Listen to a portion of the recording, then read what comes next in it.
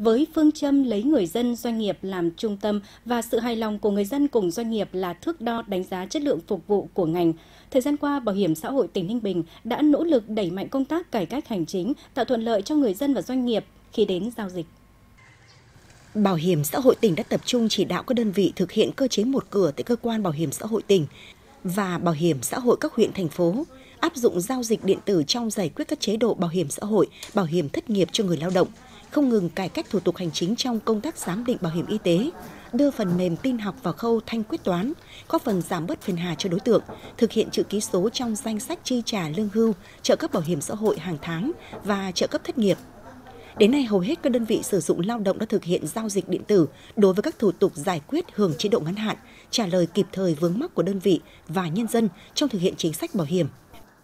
Cái chuyển biến rõ nét nhất trong cái cái thủ tục hành chính ấy, đối với cơ quan bảo hiểm xã hội trong thời gian qua đó là ừ, từ hơn 100 cái thủ tục hành chính.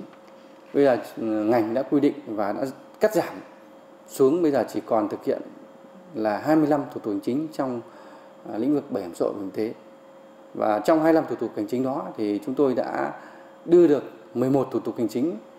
à, tiếp nhận giải quyết tại trung tâm à, hành chính công của tỉnh. Và cái thời hạn thời gian thì chúng tôi đã rút ngắn được rất là nhiều. À, có những thủ tục ừ, trước đây quy định 5 đến 10 ngày thì bây giờ chúng tôi chỉ thực hiện từ 1 đến 2 ngày. Và cái biệt có những thủ tục thì chúng tôi thực hiện tức khắc. Ví dụ như thủ tục à, đổi hay cấp lại thẻ y tế thì chúng tôi thực hiện ngay khi người dân có nhu cầu đề nghị đẩy mạnh cải cách thủ tục hành chính đã góp phần công khai minh bạch hóa quy trình giải quyết chế độ chính sách, tạo thuận lợi tối đa cho người tham gia và thụ hưởng chính sách, các chế độ bảo hiểm.